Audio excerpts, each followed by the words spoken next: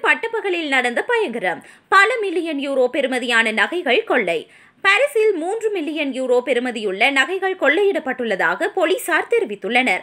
சோம்ஸ் எலிசேக்கு அருகே உள்ள ரூபி ரோன்சுவா வீதியில் உள்ள பிரபலமான நகைக்கடையில் இந்த கொள்ளை சம்பவம் இடம்பெற்றுள்ளது. இங்குள்ள சோமே நகைக்கடைக்குள் நேற்று முன்தினம் மாலை ஐந்து மணி அளவில் நுழைந்த ஆயுததாரி ஒருவர் அங்கிருந்த நகைகளை கொள்ளையிட்டு சென்றுள்ளார். கொள்ளையின் போது வன்முறை சம்பவங்கள் எதுவும் இடம்பெறவில்லை. கொள்ளையன் பின்னர் ஸ்கூட்டர் ஒன்றில் ஏறி தப்பி சென்றதாக அறிய முடிகிறது.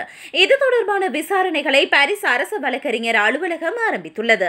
இதே கடை முன்னதாக இரண்டாயிரத்து பத்தொன்பதாம் ஆண்டிலும் கொள்ளையடிக்கப்பட்டிருந்தது. அப்போது ஒன்று தசம் ஒன்பது மில்லியன் பெறுமதியுள்ள நகைகள் கொள்ளையடிக்கப்பட்டிருந்தமை குறிப்பிடத்தக்கது.